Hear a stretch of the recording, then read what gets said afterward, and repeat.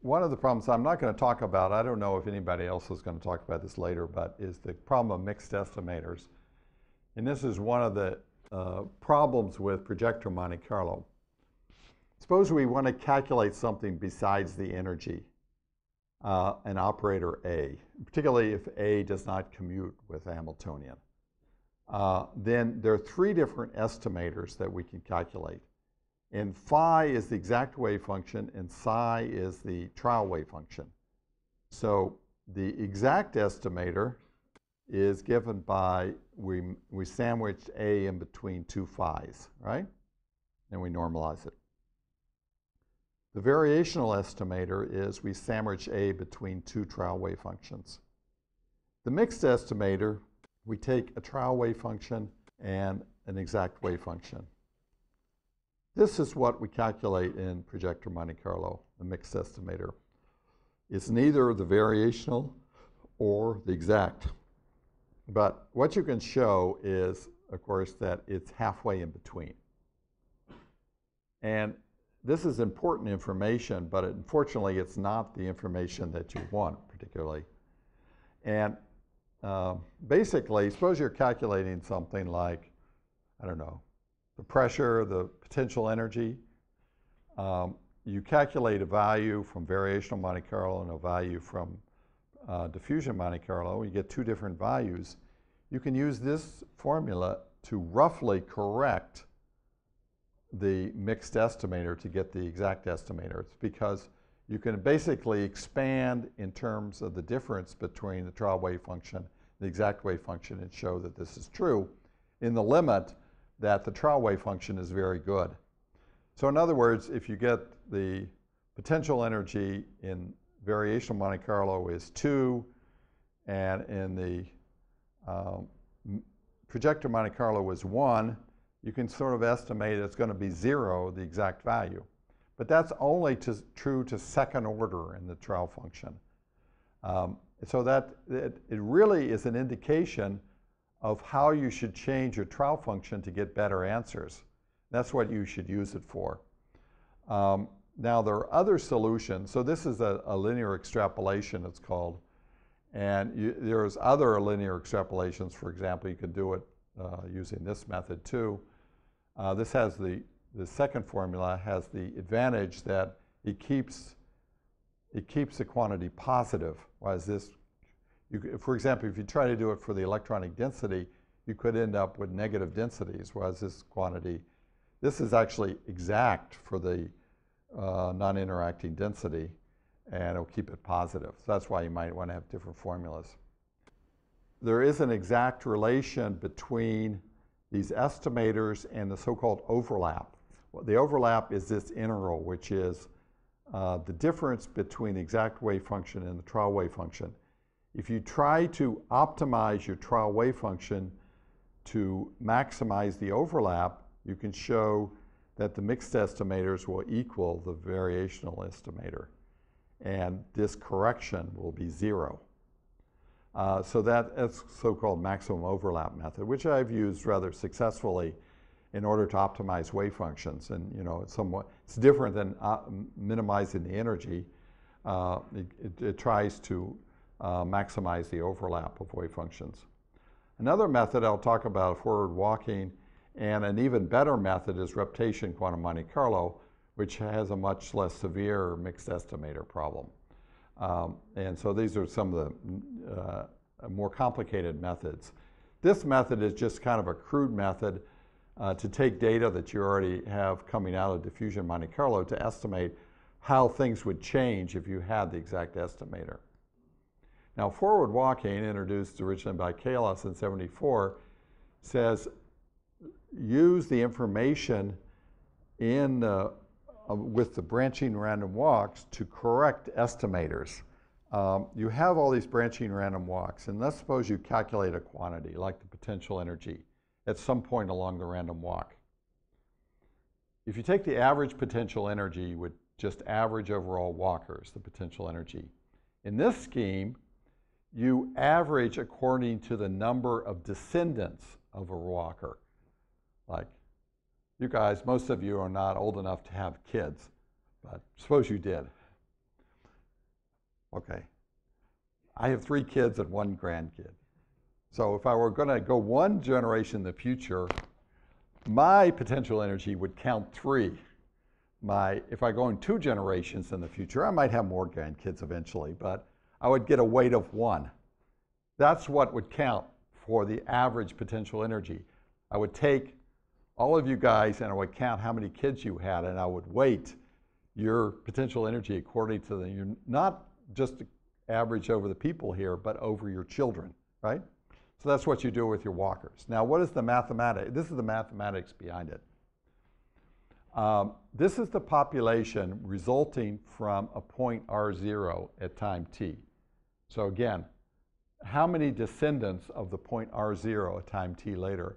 Well, this is the propagator, and this is the important sampling thing.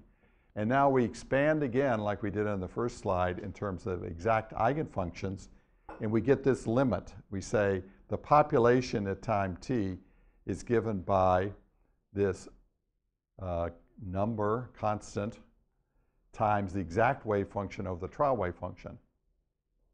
So in other words, we can correct the mixed distribution. If we take the mixed distribution and we multiply by this factor, that is the, the future descendants of a given walker, that corrects the mixed distribution to get the exact distribution. Now, the tricky thing is this limit, t goes to infinity, right? Because it turns out that it, the method is unstable at large time because, well, you probably all know this, like, if you take all the people in, say, Asia, like 20% are descended from Genghis Khan, right? Because he was rich and had lots of wives and so forth. So it's like that with the walkers, right? if you go 100 generations in the future, all the walkers will descend from one walker and your statistical efficiency will go to zero. Okay, but it can work. It can correct things. And so here's an example I did a number of years ago about uh, fusion calculation. I wanted to calculate, this is a three-body problem, that is a muon, a deuteron, and a triton. I wanted, we were trying to calculate the fusion, the, uh, the fusion sticking coefficient at this singular place. That is, what is the probability, what is the wave function when the deuteron and the triton fuse, right? And a muon was the thing that bound them together.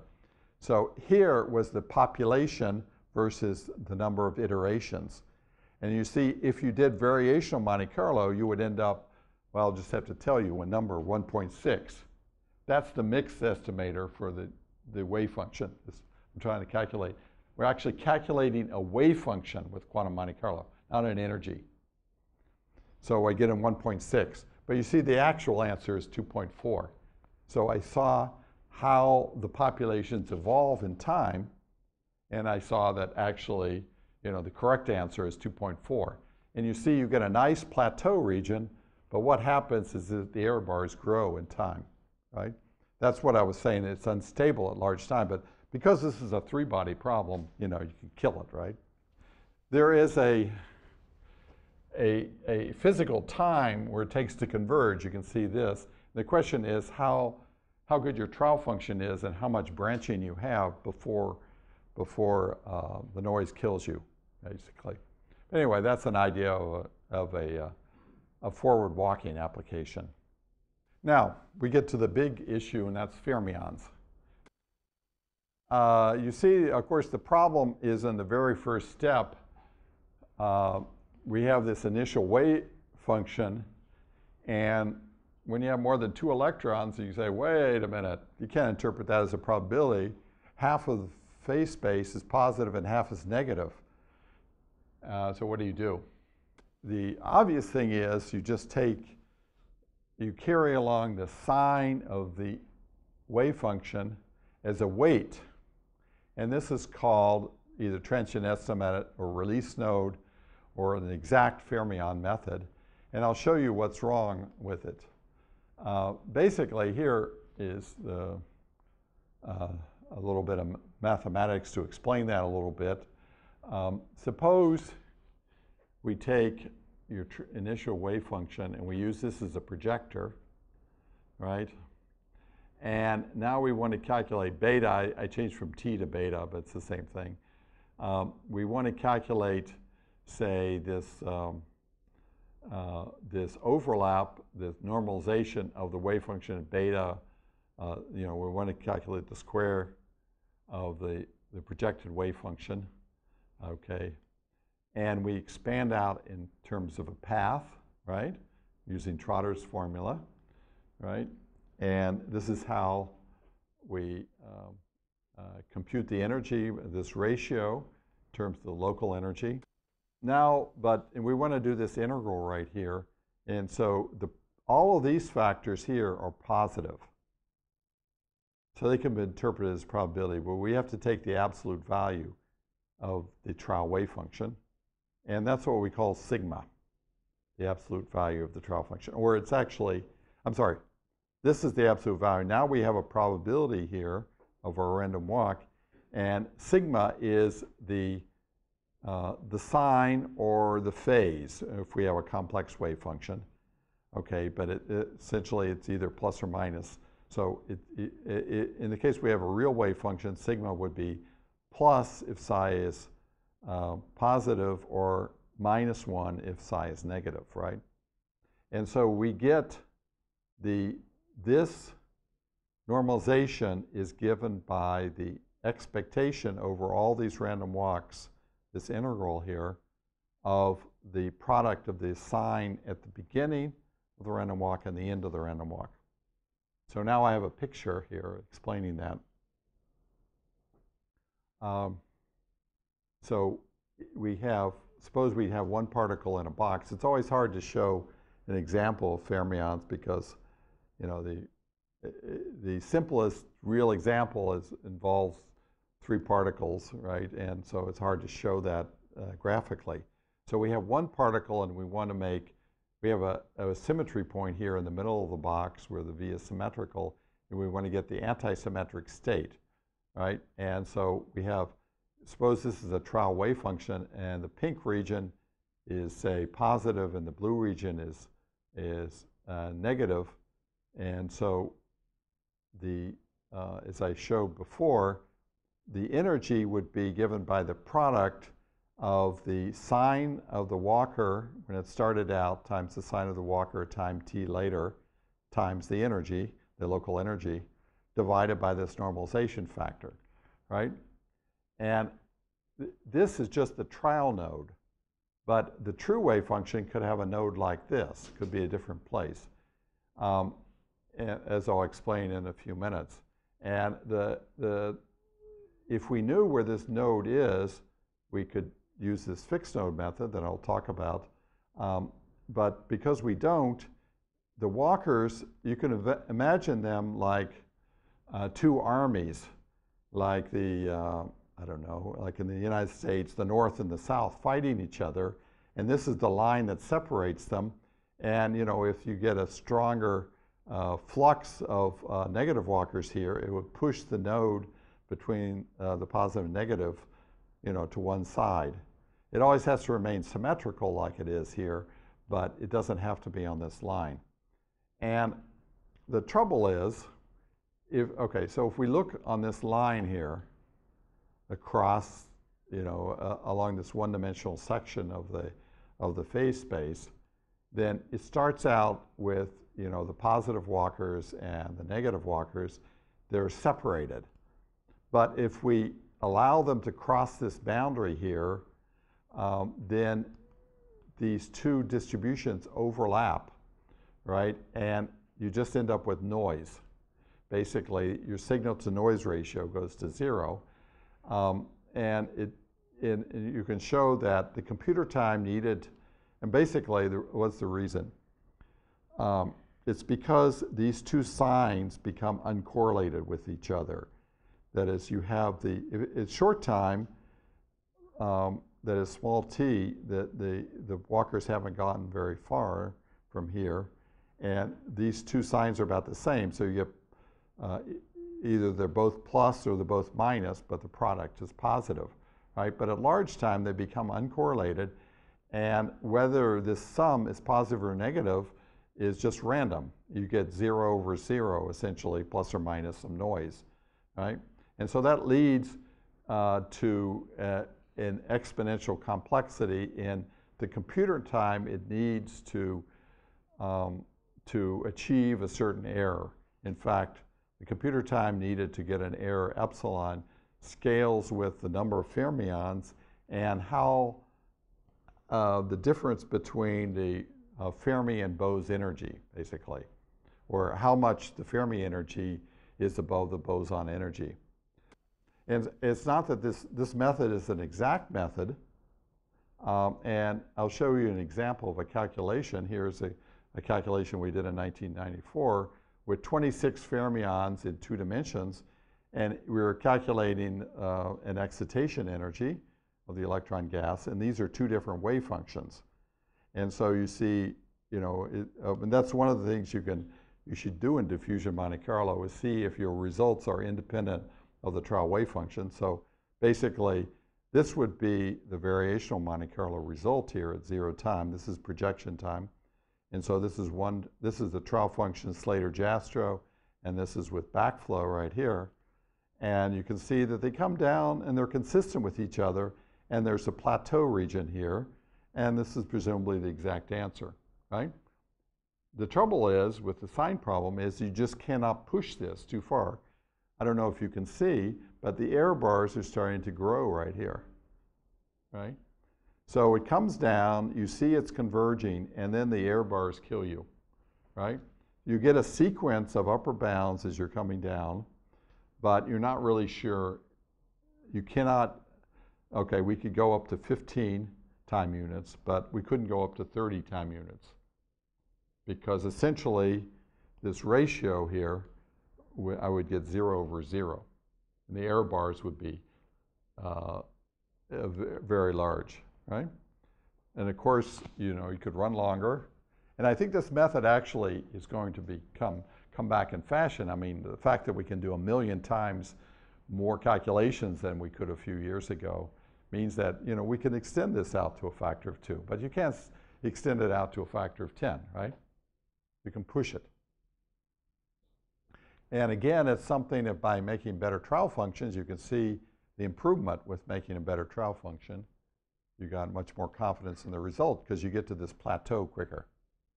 But again, this is uh, 26 electrons, so it's not really, I think in the community there's a feeling this is only good for really small systems, but that's not really the issue. It's how fermionic the problem is. Here is a general statement of the fermion problem.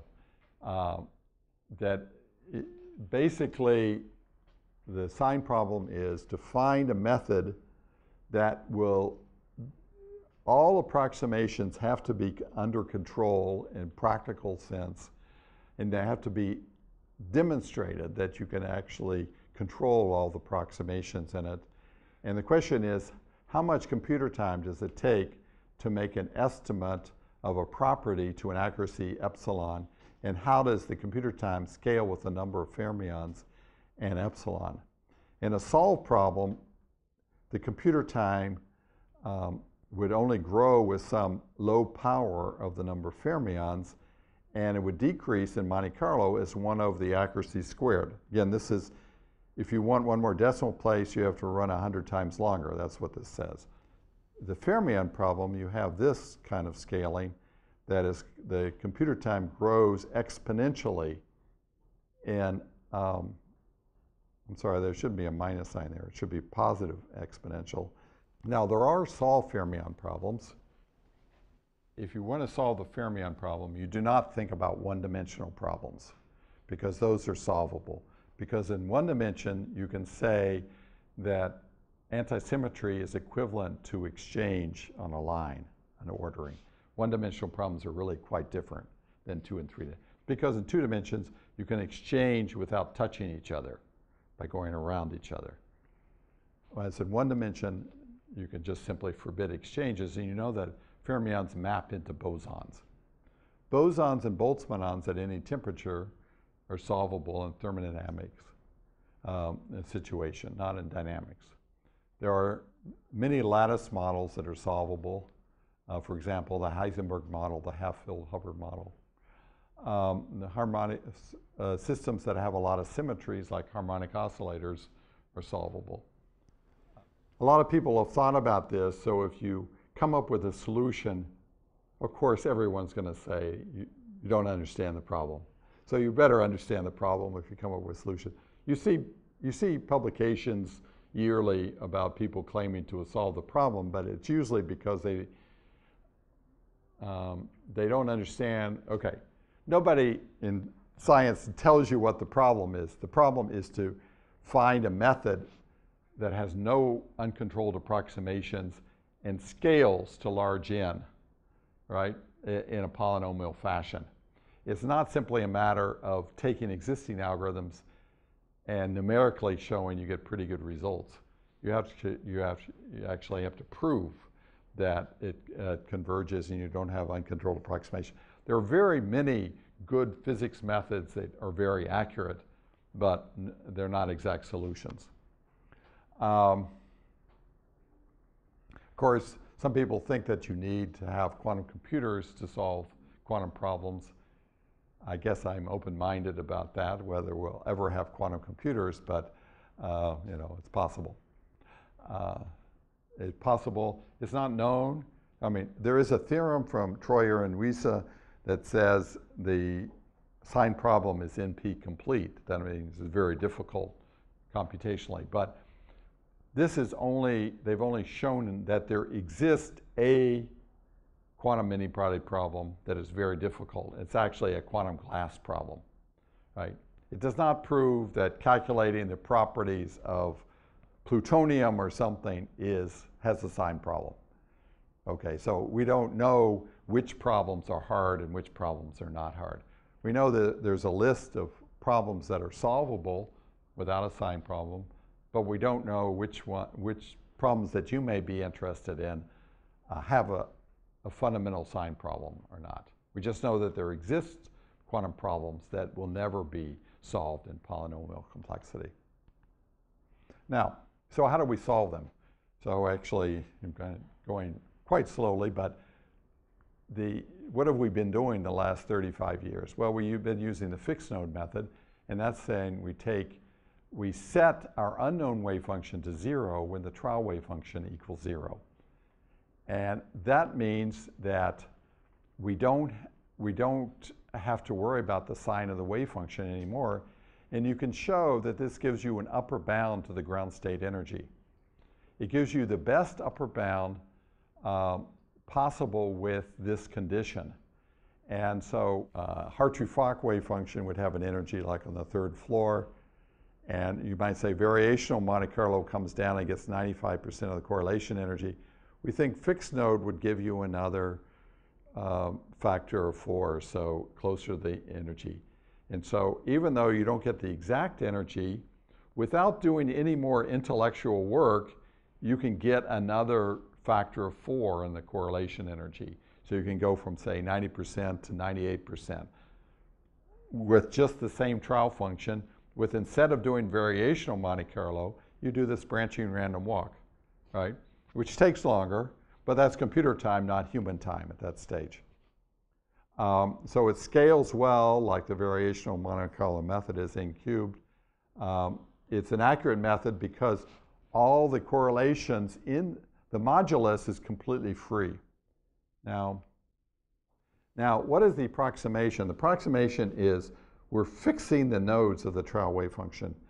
And basically, um, what are the nodes? Well, again, um, we're working with real wave functions, so problems that don't have magnetic fields. I'll get to the complex ones in a minute. The nodes are the place where the wave function vanishes. Um, sorry, this is supposed to be phi, not f. Another font problem. Um, the nodes are a 3n to minus 1 dimensional surface, so you don't want to confuse them with the nodes of the single particle orbital, although sometimes they may be uh, uh, um, uh, related. Um, there are places where you know what the nodes are, and those are so-called coincident points when two electrons are at the same place. But you see, this is three equations, so these are a manifold of 3 and minus 3 dimensions. So they're like a framework uh, uh, that hold the node. So this is like this point. We know this point has to be on the nodal surface, but that doesn't mean we know where the nodal surface is. We just know one point. And so these coincident points do not describe the whole nodal surface except in one dimension. In one dimension, this is everything. That's why you can solve one-dimensional problems. You might think, oh, this is going to be a problem because our random walks are going to get stuck in nodal volumes. Well, we proved something called the tiling theorem that says you don't have to worry about this usually. That is, there are essentially only two, that all the nodal volumes are equivalent to each other. It's like this random walk back here, this picture. There, it doesn't matter if you stand there and walk over here, over here, because they're the same, right? They're two they're, there is a symmetry operator, and so you can prove that.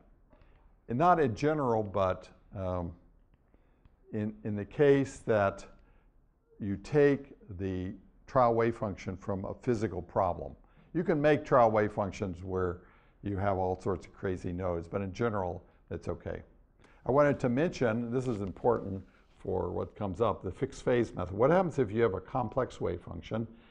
Um, you can generalize the fixed node method, as we did in this paper, to call fixed phase. And uh, basically, it's a generalization. Basically, you take a trial wave function, and you take the logarithm of it, and this is complex. So u now is a complex function, has real and imaginary parts. And we can write down the variational energy of this function in terms of the real parts and the imaginary parts. And, um, and because the Hamiltonian is a Hermitian, uh, you can get rid of some of the terms. Um, and basically, for example, this term, this is psi squared, and it's the modulus of psi squared, so you only have the real part of u here. And here's the potential energy. Here's, um, this part has real and imaginary terms in it. And um,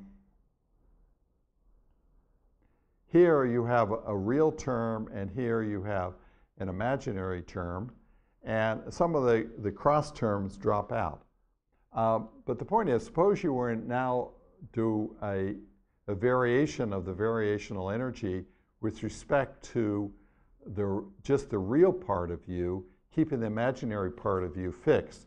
You could just regard this as a fixed potential right? And these parts you now solve with the diffusion Monte Carlo equation, uh, the diffusion Monte Carlo um, method, and that's the fixed phase method. So basically, all you have to do if you have a complex wave function is add in an additional term to the potential energy, which comes from the phase of the method. That's why it's called fixed phase. So this is the imaginary part of u, the gradient squared, and this comes up all over in physics, like quantum Hall effect and so forth. If you actually have a vector potential, you have to add that in too, like if you have a magnetic field.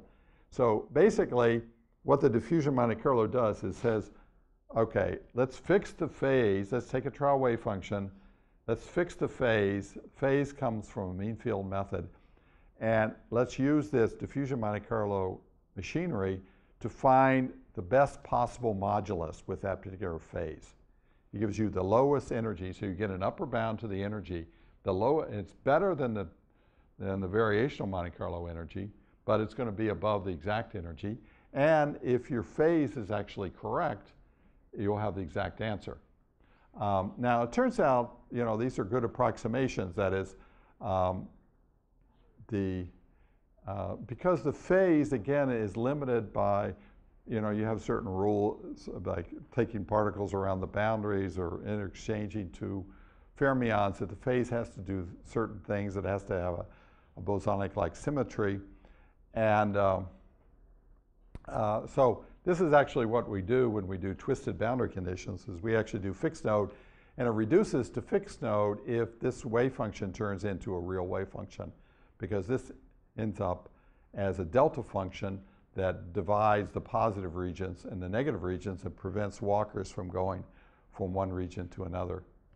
Um, so again, the fixed node method is what you do, I think this is actually what I missed saying, is how do you actually do this in diffusion Monte Carlo. How do you implement this? It's very, very simple. Actually, there's two methods. And there's a, there's a debate in the community about what to do. You have a trial wave function that's antisymmetric, like a Slater determinant. And it's the best wave function you can come up with. So during the random walk, you compute the trial wave function. And if you see the sign of the trial wave function changes from positive to, the positive to negative or negative to positive, you have crossed the node, right? And if you were not doing importance sampling, you would just simply kill that walker. And I think I showed you way back in that flow diagram where I had that. You would kill the walker. Okay. Now, the situation gets more complicated when you have importance sampling. Why? It's because the gradient that you do an importance sampling with pushes your walkers away from the node because there's a quantum force which is proportional to the gradient of the log of psi t, and it pushes your walkers away from the node. Um, and you could still cross the node through a time step error, but mathematically you're still supposed to be crossing the node. It's kind of a, it seems almost paradoxical when you imply importance sampling. I won't get into this. If you, if you think about it too much, you might get confused. If you don't think about it too much, it's okay. But the, the trouble is that as you approach the node, the, the drift is pushing you away from the node. It turns out that there's a delta function sitting right at the nodal location, and that will cause infinite branching. And that's the way walkers can tunnel through the node mathematically. But in an approximate algorithm, you never see this because you don't have that delta function in there. And so, in fact, it's correct just simply to reject walkers as they're crossing the node or you can kill them. Either way works. And you can try and see which one has the smaller time step error. It's both time step errors. And they're both correct procedures, actually. Um, uh, but, the, you know, and as a further, you can ask about methods to further reduce the time step error. And there's some people that I think QMCPACK does this that actually makes changes the quantum force as it's approaching the node so it doesn't diverge like 1 over x. It should, it does diverge like 1 over x and that goes to infinity. And so what you do is you, you, you tame that singularity and you can show that that's the right thing to do. And that has a smaller time step error. Basically, these are methods to reduce the time step error. Here is the proof that I had of the fixed node theorem, that is, that you, get an upper bound to the ground state energy. What, this is what we want to show, is there's something called the fixed node wave function, which is the solution to the Schrodinger equation, the exact solution to the Schrodinger equation with these boundary conditions, that it uh, vanishes on the surface of a volume. And you can apply a permutation operator and show that you can come up with a, a, uh, a fermion, an antisymmetric wave function with these boundary conditions, and then you put it in the variational theorem and show that that gives you uh, essentially an upper bound to the ground state energy, but it has to be lower than the variational Monte Carlo energy because, uh, you know, it, the, uh, well, you can say because you're minimizing the energy with respect to the wave function inside the nodal domain. So here is a, is a, it just gives you a picture, I don't know, I made this a number of years ago, uh, of uh, gives you an idea of how complicated the nodal surfaces are. Again, these are not nodal surfaces in three dimensions. These are nodal surfaces in three n dimensions. So what I took was um, 161 electrons in a, a periodic box. And the electrons are those open circles, right? And the, I let the last electron be this black dot, and it moves around and the other 160 electrons were fixed at the sampled positions that are shown. And so then I drew a line whenever the wave function vanished, right? And so these are the nodal surfaces. This is a slice through this huge dimensional space. It's like taking your brain and slicing it, and you see the brain has a nice structure, but when you cut it like that, you lose all the symmetries, okay? And so basically the nodal surface, it, it has to be a curve that goes through all the dots. It's like the, the, the thing that kids do of connecting the dots and making a picture, right? It has to go through all the dots. And this, uh, because the wave function has to vanish whenever this electron hits another electron. The, these are only spin up electrons, by the way. Uh, there's no spin down electrons. You see there's, this, there's nodes that are densely packed. That's because uh, there has to be a nodal surface within. Um, you can show that that has to be true because this is a free Fermi gas that has a Fermi surface, and there's has to be nodes every uh, in uh, on the order of one interparticle spacing. Now, you might think, wow, there's a lot of little nodal pockets and things. But these are not pockets in the high dimensional space. These are only pockets because we sliced this huge phase space into two dimensions. But you can show by doing three particle exchange, that is three electrons, that you can move everywhere in the, the no, in the positive region without crossing a node. In fact, you can show there's only two nodal regions in, in this high dimensional phase space. Yeah? Uh, in a previous picture, you had colored uh, for positive. Yeah. Would it be possible to color this? Yeah. positive? Yeah, yeah, yeah. I didn't color, but like, suppose we started out this is positive, then just like you would color, a kid would color, this would be negative, that would be negative, and so forth. So all the connected regions. Yeah, yeah. But there, uh, what I was saying is that there actually, it's possible to go from all the positive regions to all the other positive region. We can show this mathematically without crossing nodes in two or three dimensions. It's not true in one dimension, but in higher dimensions, it's. Actually, Lubos Mitas showed this. I actually proved it computationally, but he proved it mathematically.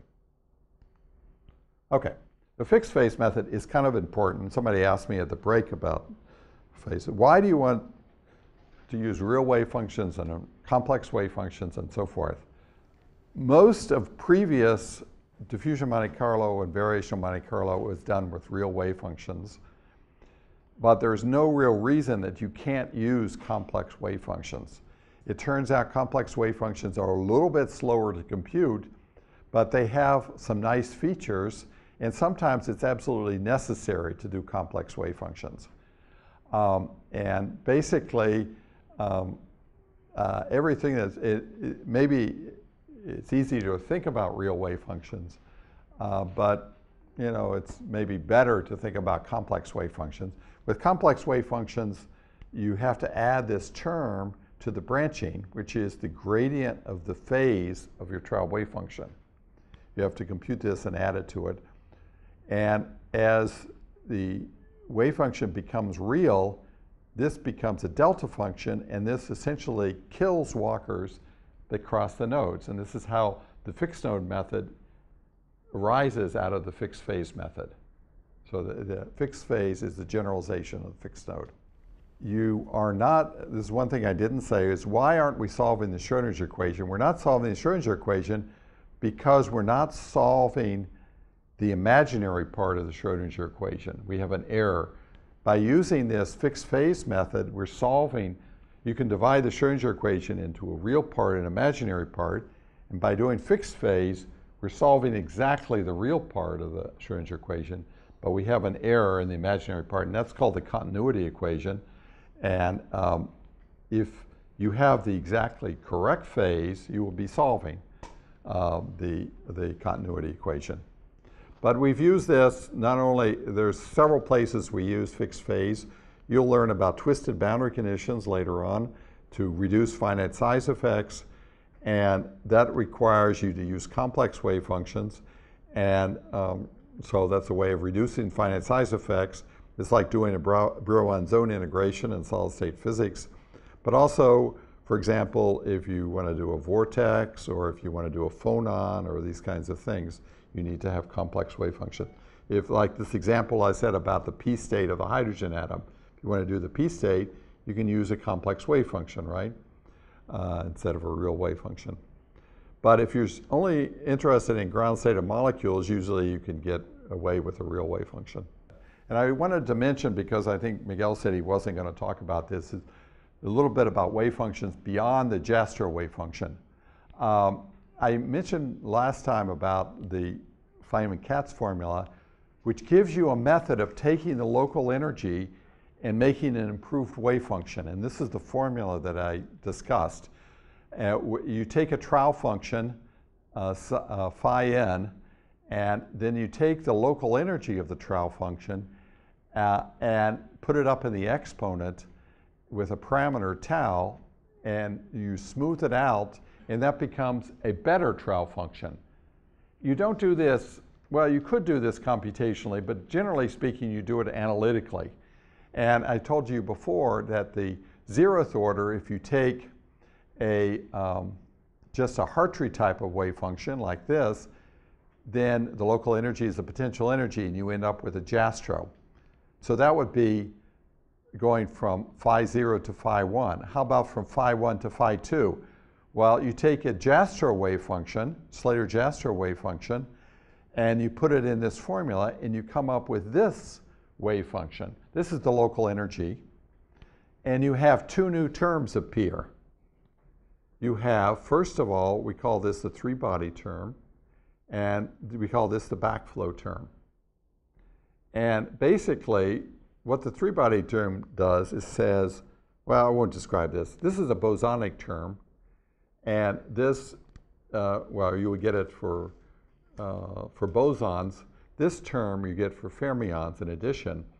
This says, let's not work, when we take the Slater determinant, let's not work with, um, you know, rows would be the orbitals and columns would be the electrons. Let's instead of working with electron coordinates, work with dressed electron coordinates. So the new coordinate is r minus the gradient of y, where y is a new pair function, is the backflow function, and which you use to generate a force that pushes the electrons around. So now every matrix element, be, instead of becoming a single body matrix element, becomes a many body matrix element. And this is what perturbation theory says that correlated wave functions should have in them, right? This is a kind of a perturbation argument. Okay, and so here again is, this is for the electron gas where the orbitals are just simply plane waves. And instead of working with e to the i k dot r for a determinant, we work with e to the i k dot x, where x is r plus a force depending on coming from the other electrons. And here is what this force function is.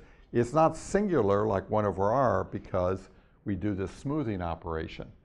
Over here, we have a smoothing.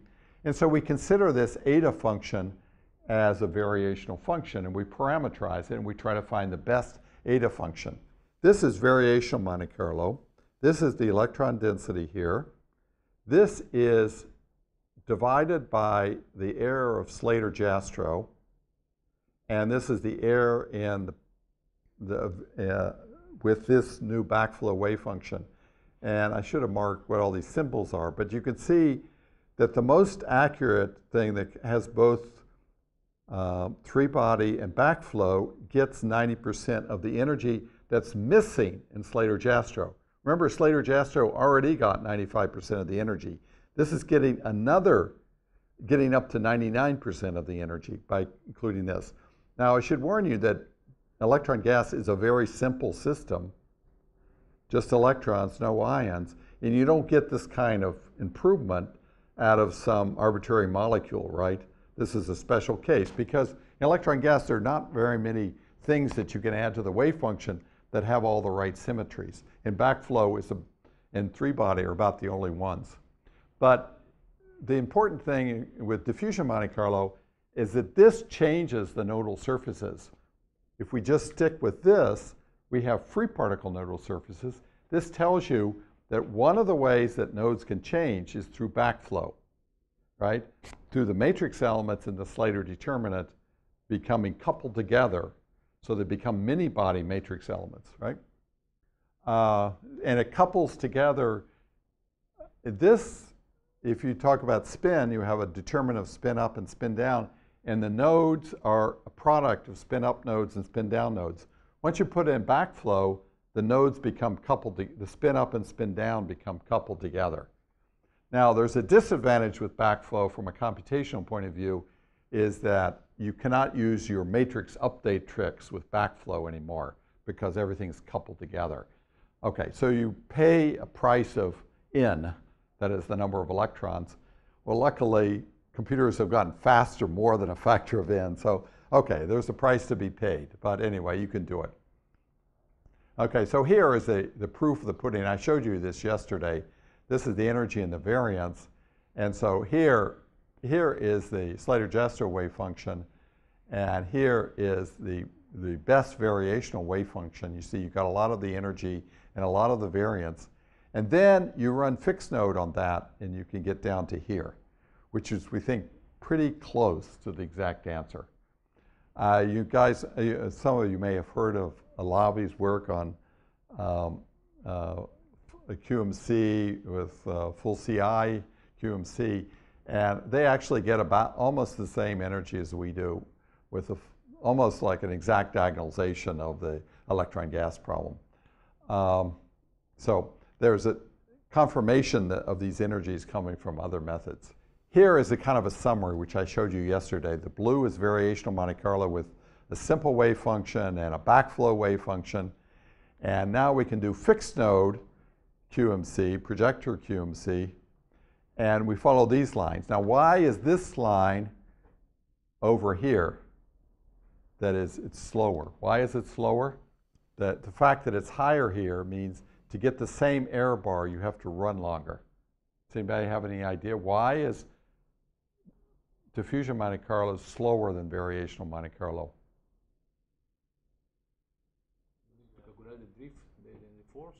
He said it's because of the force. No, that's not the answer.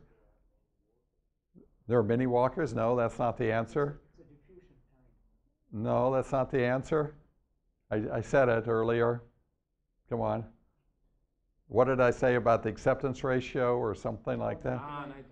Yeah, yeah. The problem is your time step has to be smaller because you want to accurately calculate this, this projector.